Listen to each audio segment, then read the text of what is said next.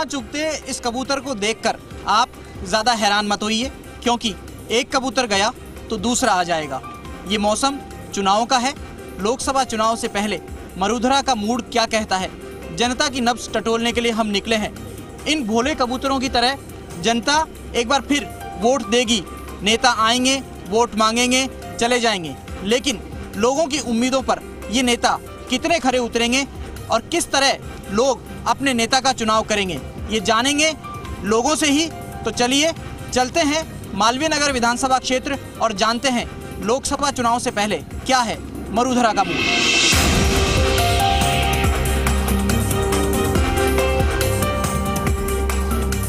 चुनाव से पहले यहाँ हमने देखा कबूतरों को दाना डाला जा रहा है। चुनाव में भी कुछ ऐसे ही नज़ारे दिखेंगे, लेकिन लोग क्या सोचकर अपने नेता का चुनाव करेंगे, उनसे जानते हैं। आप जब चुनाव आएँगे तय करेंगे अपने नेता का चुनाव किस आधार पर चुनेंगे? क्या अपेक्षा है? पहली चीज़ तो महिला की सुरक्षा होनी ही चाहिए। वो तो मोस्ट सबसे बड़ा टॉपिक है स्पेशली इन अवर इंडिया और बाकी तो सारी चीज़ें है ही। नॉट ओनली महिला सुरक्षा ऑल ओवर डेवलपमेंट होना चाहिए फॉर अवर नेशन कैंडिडेट देख करके आप लोगों की वोट प्रायोरिटी तय होती है या पार्टी के आधार पर या डेवलपमेंट के इश्यूज़ डेवलपमेंट के इशू पर ऑब्वियसली फ़र्स्ट डेवलपमेंट है।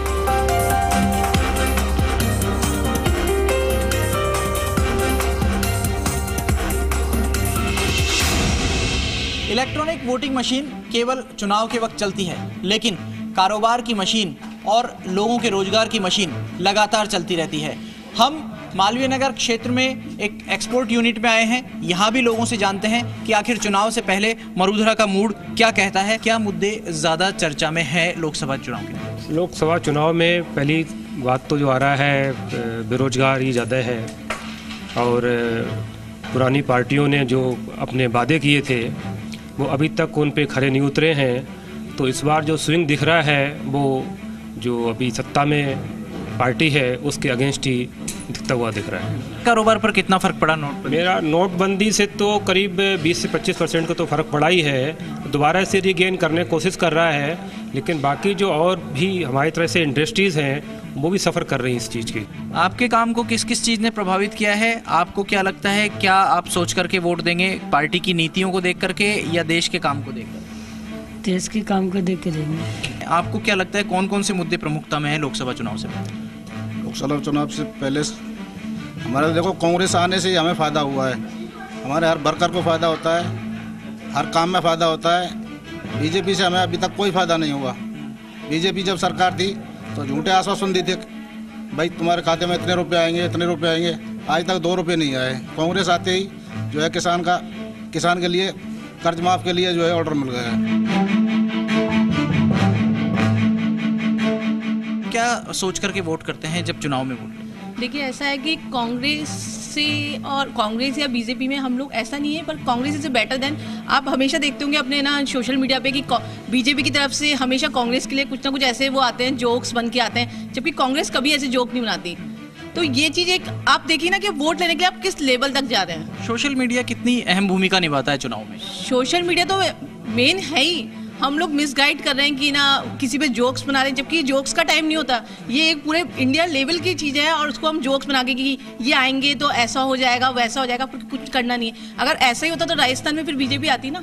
इन जोक्स के अलावा आपकी रसोई के मुद्दे भी वोट को प्रभावित करते हैं? हाँ बिल्कुल क्यों नहीं करते? आप देखिए ना हर चीज़ थी इतनी महँगाई में जा रही थी और अब सब कुछ नॉर्मल चल रहा है। क्योंकि उन्हें अपने क्षेत्र के अंदर विकास होना चाहिए बढ़िया। फ़र्स्ट क्लास हम तो उसको नेता चुनते हैं जो अपने क्षेत्र के अंदर विकास करता है उसको।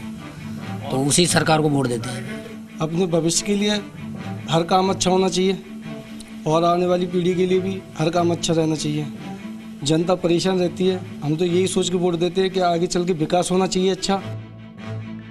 अब तक आपने देखा घरों में रहने वाले लोग ऑफ़िस में काम करने वाले लोग किस तरह सोचते हैं क्या सोचते हैं चुनाव को लेकर। लेकिन सड़क पर ज़्यादा वक्त गुजारने वाले लोग ठेले खोमचे लगाने वाले लोग क्या सोचते हैं क्या वो वोट देते भी हैं या नहीं इनकर इस पर उनकी क्या राय है? आप वोट देते हो? वोट देते हैं। कहाँ के रहने वाले हो? कब से ये ठेला लगा रहे हो? हमको चार पाँच साल हो गई कम से कम। क्या सोच करके वोट देते हो आप?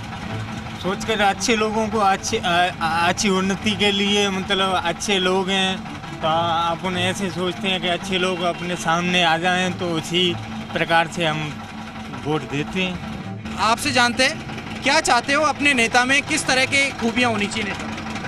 नेताजी, सर, हमारे वो है, मोदी जी है। देश में सर मोदी जी आना चाहिए, केंद्र में मोदी जी आना चाहिए। अलग अलग बात लोग कह रहे हैं, लेकिन साथ में लोग ये भी कह रहे हैं कि रोज़गार उनकी प्राथमिकता है, रोज़गार बना रहना चाहिए।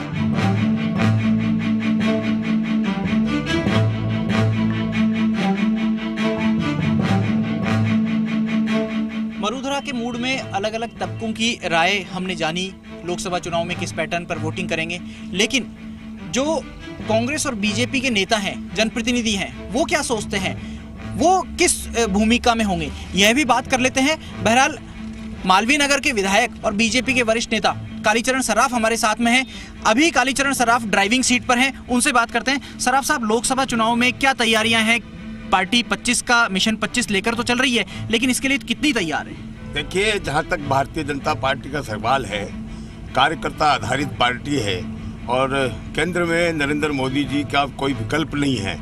इसलिए निश्चित रूप से भारतीय जनता पार्टी जीतेगी और राजस्थान की 25 की 25 सीटों पर भारतीय जनता पार्टी अपना परचम लहराएगी। सराफ साहब आप बीजेपी का परचम लहराने की बात कर रहे हैं। हालाँकि आप ड्राइविंग सीट पर हैं, ये एक अच्छी बात है। लेकिन अब से पहले जब आप सरकार में थे तो आपके साथ में ड्राइवर मिला हुआ था, अब आप गाड़ी खुद चला रहे हैं। और विपक्ष में बीजेपी राज्य में आ गई है तो कितनी मजबूती दिखा पाएँगे आप लोग ऐसे? देखिए, विपक्ष में राजस्थान प्रदेश के जो चुनाव हुए, उसके मुद्दे अलग थे। और केंद्र के चुनाव के अलग मुद्दे। जैसे आपको जानकारी होगी कि एक बार जब अटल बिहारी वाजपेयी देश के प्रधानमंत्री थे, उस समय जब राजस्थान के चुनाव हुए तो उसमें भारतीय जनता लोगों ने अटल जी अटल जी के नेतृत्व में विश्वास व्यक्त किया। इसी प्रकार से प्रदेश में आज कांग्रेस में कद्दावर नेता हैं, वरिष्ठ नेता हैं। इसलिए प्रदेश में चुनावी मुद्दे अलग थे। अब जो केंद्र का चुनाव होने वाला है, जो सेंट्रल का चुनाव होने वाला है, नरेंद्र मोदी जी का कोई विकल्प नहीं है। जितने भी सर्वे आ रहे हैं पूरे हिंदुस्तान के, उसमें नरेंद्र मोदी जी की लोकप्रियता कहीं चौवन परसेंट, कहीं पर पचपन परसेंट, कहीं पर बावन परसेंट। और उनके सामने राहुल गांधी की जो लोकप्रियता है, कहीं सोलह परसेंट, कहीं चौदह परसेंट। इसलिए निश्चित रूप से प्रदेश की देश की जनता बड़ी समझदार है और इस बार पुनः नरेंद्र मोदी जी के नेतृत्व में भारतीय जनता पार्टी की सरकार बनेगी और लेकिन प्रदेश की जनता ने ही समझदारी दिखाई और जो आठ विधानसभा क्षेत्र हैं जयपुर लोकसभा के उनमें से पाँच आप लोग हार गए। देखिए इससे क्या फ़र्क पड़ता है? मैंने बताया नहीं। फ़र्क तो ये पड़ता है कि आप विपक्ष में आ गए। देखिए प्रदेश के चुनाव के अलग मुद्दे होते हैं और केंद्र के चुनाव के अलग मुद्दे होते हैं। ये मैं बार बार यही कह रहा हूँ। इसलिए निश्चित रूप से केंद्र में भारतीय जनता पार्टी जीतेगी और जिस प्रकार की तैयारी भारतीय जनता पार्टी की चल रही है और जिस प्रकार का उत्साह भारतीय जनता पार्टी के कार्यकर्ताओं में है इससे ऐसा लगता है कि लोकसभा के चुनाव में हम 25 की 25 सीटों पर परचम लहराएँगे। मालवीय नगर तो गढ़ हुआ करता था। पिछली बार आप अड़तालीस सात सौ से जीते इस बार सत्रह सौ की जीत रह गई। तो ये अंतर लोकसभा में भी नुकसान कर गया तो? कोई नुकसान नहीं करेगा। मालवीय नगर विधानसभा क्षेत्र में हम पुनः वही रिकॉर्ड कायम करेंगे क्योंकि आपको जानकारी होगी कि जब लोकसभा का चुनाव हुआ था पिछली बार तो हम मालवीय नगर से चौरासी हज़ार से जीते थे और विधानसभा में अड़तालीस हज़ार से जीते थे। इस बार हम सत्रह सौ से जीते हैं।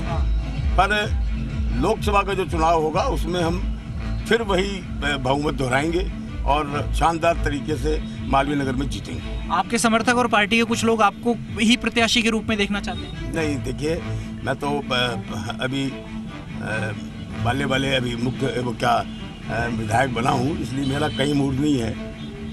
मेरा कहीं मूड नहीं है सांसद का चुनाव लड़ने सात बार के विधायक कालीचरण सराफ कहते हैं कि लोकसभा के मुद्दे अलग हैं, विधानसभा के मुद्दे अलग होते हैं और लोकसभा में एक बार फिर मालवीय नगर क्षेत्र से वो अपनी पार्टी को मजबूती से जिता करके बेचेंगे।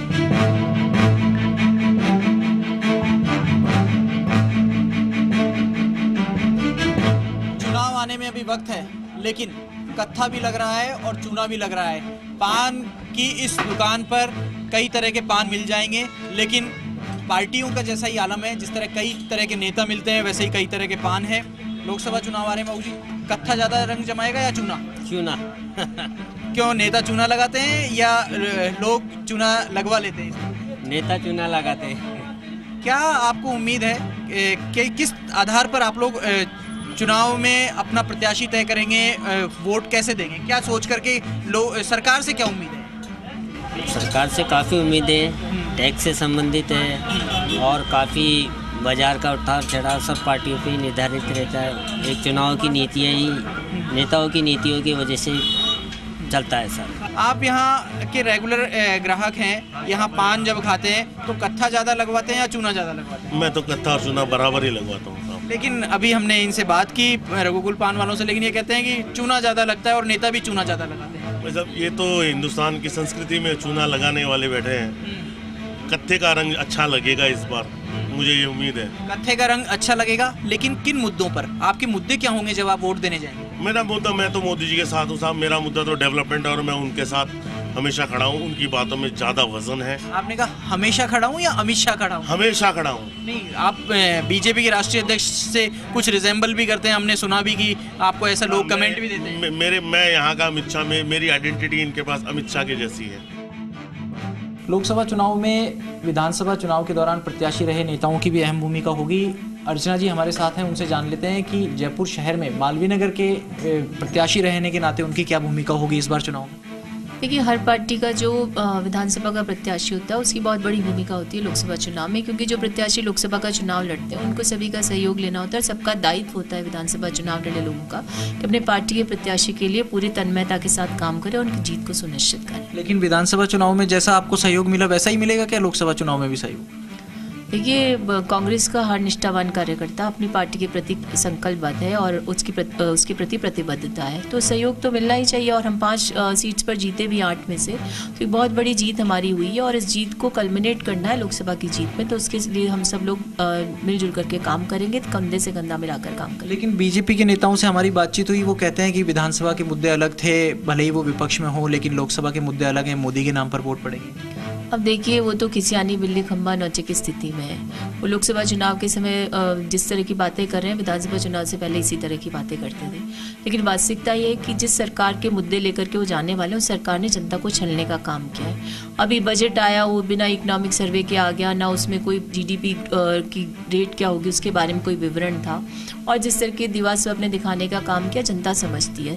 आपको क्या लगता है, मुद्दे कमोबेश यही रहेंगे जो आपने गिनाया जीएसटी महँगाई, चरम पर होना, उद्योग धंधे, रोज़गार, यही सब रहेंगे या इसके अलावा भी व्यक्तिगत छींटाकशी भी कुछ असर डाल रही है? देखिए, भाजपा की जो प्रवृत्ति है, उसमें तो दिख रहा है कि प्रधानमंत्री हों, चाहे उनके राष्ट्रीय अध्यक्ष हों या उनके राज्य स्तर के नेता हों, यहाँ तक कि जिनका ज़्यादा वजूद नहीं, वो नेता भी इस तरह की बयानबाजी कर रहे हैं, जिसमें व्यक्तिगत आक्षेप की राजनीति छिपी हुई है।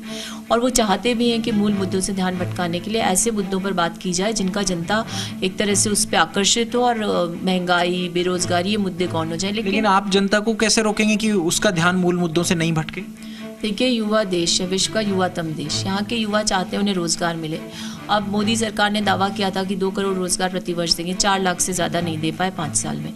इसके अलावा भुखमरी की जो स्थिति है, उसके इंडेक्स में भी भारत की स्थिति बेहद खराब हुई। जित, जिस स्तर पर थे, उससे बढ़ करके उससे ज़्यादा बढ़ गई। सौवीं रैंक पर थे पचासवीं रैंक पर के आने का मतलब ये हो गया कि हम लोग उससे भी ज़्यादा खराब स्थिति में आ गए।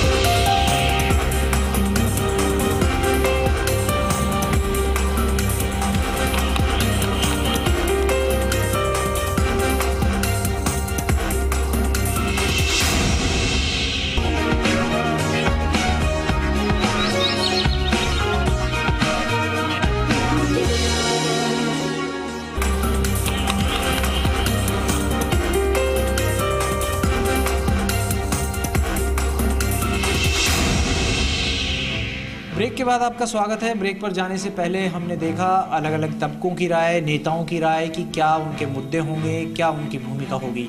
लेकिन सरकारी कर्मचारी क्या सोचते हैं? इस पर बात करते हैं मिशन बेहतर के गुलशन बागला हमारे साथ हैं। बागला जी, सरकारी कर्मचारियों की नुमाइंदगी आप लोग करते हैं। क्या सोच के सरकारी कर्मचारी लोकसभा चुनाव में वोटिंग करेगा? इस वक्त जो बात तो वही है, सबसे बड़ी बात यह है कि कैसे वादे किए, क्या पूरे हुए। तो जो लग रहा है मुझे इस बार जो कांग्रेस ने अपनी बातें कही थी अपने मैनिफेस्टो के अंदर वो पूरे कर रहे हैं सरकारी कर्मचारियों की बात भी सुन रहे हैं। इसके अलावा बाकी जो जैसे अभी कर्जा माफ़ी की बातें हो रही हैं या बेरोजगारों को भत्ता देने की बात है वो भी उनका प्लान जो है वो बिल्कुल मूर्त रूप ले रहा है। तो आई थिंक ये बिलीव करेंगे कांग्रेस के ऊपर I I hope that Modi versus Rahul Gandhi election होगा या कैंडिडेट वर्सेस कैंडिडेट होगा या पार्टी वर्सेस पार्टी दो अभी जो इलेक्शन नज़र आ रहा है वो नेचुरल है जो हमारे मोदी जी, प्रधानमंत्री जी हैं, उन्हीं के फेस के ऊपर वर्सेस राहुल गांधी होगा, ये आप मान के चलिए। लेकिन मोदी जी ने भी जिस तरह से जितने वादे किए थे, वो वादे पूरे कर नहीं पाए और आज देख रहे हो आप, कल परसों के घटनाक्रम से तो हिंदू में जो लेख छपा, उसको किस तरह काटने पहले मना ही कर रहे थे कि नहीं साहब, हमने तो ऐसा कुछ पी ने दखलंदाजी नहीं करी। और आज ये पिक्चर आ रही है कि नहीं पी एम पैरल अपनी बातचीत कर रहा था। तो इन चीज़ों से अविश्वास तो बढ़ ही रहा है। ये तो निश्चित हो रहा है। हालाँकि, देखिए हिंदू ने सिर्फ़ आधा छापा था। गवर्नमेंट ने उसको पूरा पूरा कागज़ निकाल के दे दिया। जिसके अंदर ये और लिख दिया कि हमारे रक्षा मंत्री जी पूर्व, जो रक्षा मंत्री थे, उन्होंने लिख दिया कि भाई, अगर पीएमओ के यहाँ बात चल रही है तो आप वहाँ जाके ही करवा लो। हमारे यहाँ से तो मतलब ही नहीं है। तो अब कितनी बड़ी बात है कि रक्षा सौदे में जो एक कमेटी बनी होती है उस कमेटी को दरकिनार करके अपनी एक उनको जानकारी भी नहीं दी। मैं तो पढ़ के हैरान हो गया कि कई बार ये होता है कि हमने एक कमेटी बनाई। चलो ठीक है हम अगर ये सौदा करना चाहते हैं तो दूसरी कमेटी बना दें। राफेल का इशू बड़ा होगा या स्थानीय क्षेत्र के मुद्दे और कर्मचारी हितों के मुद्दे भी मायने रखते नहीं ये तो मायने रखते ही हैं लेकिन ये मुद्दे बड़े होंगे जैसे रफायल का हो गया या पंद्रह लाख रुपए की जो बात बोली थी उन्होंने खातों में आ जाएँगे या बेरोजगारी की इतने करोड़ करोड़ लोगों के हम लोग रोज़गार दे देंगे वो बात है। ये जो चीज़ें महँगाई की बात कर लीजिए तो वो क्या है इन चीज़ों को एक अलग ही अंदाज में पेश किया जा रहे हैं सिर्फ़ बातें बातें किए जा रहे हैं। अब साढ़े चार पाँच साल उनको हो गए तो वो उन्होंने क्या किया जनता ने देख लिया। मरुधरा के मूड में अब तक हमने जाना अलग अलग तबकों की राय कि लोकसभा चुनाव में लोग क्या सोच करके वोटिंग करेंगे लेकिन आधी आबादी की हिस्सेदारी भी पूरी होनी चाहिए। ए, उनसे भी बात करते हैं। आप लोग आधी आबादी के रूप में जाने जाते हैं। लेकिन क्या आधी आबादी को लोकतंत्र में उसका पूरा हिस्सा मिल पा रहा है? आप लोग क्या सोचते हैं? नहीं, कोई आधी आबादी का पूरा हिस्सा नहीं मिल पा रहा है। उसके लिए देखो, मैं जो सोचती हूँ, जैसे अपन राजनीति में महिलाओं को आगे आना चाहिए, उनको आगे लाना चाहिए, उनकी सुरक्षाओं का ध्यान रखना चाहिए। आज के दौर में जो महिलाओं के ऊपर इतने अत्याचार हो रहे हैं, इन चीज़ों को सोचते हुए मैं सोचती हूँ कि महिलाओं को बहुत मौका देना चाहिए। मौका किस रूप में मिले? चुनाव लड़ने के लिए मिले या संगठन में भागीदारी के लिए मिले या फिर... किसी भी चीज़ में मिले। चुनाव में अगर लाते हैं अपन तो चुनाव में मिले। अगर और कोई फ़ील्ड में काम करना चाहती है अगर महिला तो उसको सपोर्ट मिले बाकायदा। सपोर्ट इस तरह से मिले कि नहीं? ये सपोर्ट सरकार की तरफ़ से मिले या घर की परिवार की तरफ़ नहीं घर की घर की तो ये हमारी पर्सनल प्रॉब्लम हो जाती है। लेकिन सरकार की तरफ़ से मिले तो घर वाले राज़ी हो जाते हैं। देखिए, सरकार की तरफ़ से भी महिलाओं को प्रोत्साहन चाहिए, समर्थन चाहिए। आप लोग क्या सोच करके वोट करते हैं चुनाव में जब करते हैं? तो अब लोकसभा का समय आ गया। हम लोग ये सोच के वोट करते हैं कि जो कैंडिडेट है, जो पार्टी ने उसको उतारा है, वो धरातल से जुड़ा हुआ हो। महिलाओं की समस्या को, प्रदेश की समस्या को बारीकी से समझे, उनका समाधान करें। युवाओं को राजनीति में और हर क्षेत्र में अच्छे मौके दें। बेरोजगारी पे जिससे कम से कम बेरोजगारी तो कम हो महँगाई है इसके मुद्दों को भी सम... मालवीय नगर में इस बार आपका मुकाबला बड़ा टफ रहा था कांग्रेस और बीजेपी दोनों के बीच में क्या उस ए, मुकाबले का भी कोई असर आप लोगों के वोटिंग पे पड़ेगा लोकसभा में जब नहीं बिल्कुल नहीं पड़ेगा क्योंकि हारने के बावजूद भी हम ये नहीं कह सकते कि ये कांग्रेस के प्रत्याशी की हार हुई है हम्म। क्योंकि वो हार इस तरीके की थी उन्होंने अपने हिसाब से और जनता ने उसको उनको पूरा समर्थन दिया था उस हिसाब से उन्होंने अच्छी टक्कर दी थी तो हम इसको हार ही नहीं मानते हम्म। और ए, महिला सुरक्षा की आप बात करते हैं महिलाओं को आगे बढ़ाने की बात करते हैं लेकिन क्या राजनीति में रिजर्वेशन संभव लगता है आपको? नहीं भी है संभव तो होना चाहिए उसका रीजन ये कहा तो हम महिलाओं की बराबरी की बात करते हैं। दूसरी तरफ़ हम फोर्टी परसेंट फिफ्टी परसेंट की बात अपन करते हैं राजनीति में। फिफ्टी परसेंट नहीं तो ट्वेंटी परसेंट तो महिलाओं को रिजर्वेशन मिलना चाहिए जिससे वो महिलाओं की हर समस्या को बारीकी से समझेंगे। अत्याचारों में भी कमी होगी सुरक्षा में भी बढ़ोतरी होनी चाहिए तो महिलाओं को मिलना चाहिए रिजर्वेशन सोशल मीडिया कितना कारगर होता है चुनाव में और लोकसभा चुनाव में इसका कितना असर रहता है? आज की डेट में तो जो कुछ भी है चुनाव में वो सोशल मीडिया ही है। सोशल मीडिया के थ्रू ही हम कई चीज़ें जानते हैं और प्रचार प्रसार के लिए भी बहुत अच्छा ज़रिया है। जहाँ तक आप लोकसभा चुनाव की बात कर रहे हैं लोकसभा चुनाव में 25 सीटें राजस्थान से हैं। तो अभी जैसे कि मेरे साथ बताया इन्होंने कृतिका दी ने। सीटों का आंकड़ा दोनों पार्टियाँ अपना अपना बता रही हैं। लेकिन आप लोगों को क्या लगता है कि 25 पर महिलाओं को कितनी सीट दी चाहिए एक तरफ़ हम बात करें कि 49 पॉइंट समथिंग जो है हमारे देश की महिला मतदाता है। उस हिसाब से देखा जाए तो कम से कम हर पार्टी हर राजनीतिक पार्टी तैंतीस परसेंट आरक्षण की बात करती है। नहीं तैंतीस परसेंट पच्चीस में से कम से कम दस सीटें नहीं दस देते तो कम से कम छह सीटें महिलाओं के लिए तो रखे। लेकिन महिलाओं को टिकट मिलने के बावजूद जीत कर आने की प्रतिशत जो है वो ज़्यादा नहीं रहता तो राजनीतिक पार्टियाँ सोचती हैं कि फिर क्यों टिकट दिया हारते तो पुरुष भी है। जब आप पुरुष के पुरुषों के हारने के लिए आप तैयार हैं तो महिलाओं के लिए रिस्क क्यों नहीं? पार्टी इस चीज़ के बारे में क्यों नहीं सोचती? हम पुरुष हार जाते हैं तो उनको कोई फ़र्क नहीं पड़ता। जिस सीट पर जब पुरुष के हारने के बाद कोई फ़र्क नहीं पड़ता तो महिलाओं के लिए रिस्क लेने में क्या दिक्कत है? आ, आपको क्या लगता है कि क्या मुद्दे आपके लिए अहमियत रखते हैं लोकसभा चुनाव से ठीक?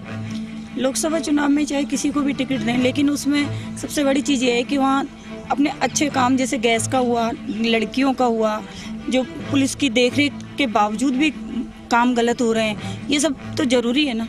कोई भी प्रत्याशी हो लेकिन वो प्रत्याशी ऐसा तो हो जो लोग आम पब्लिक से धरातल से जुड़ा हुआ होना चाहिए।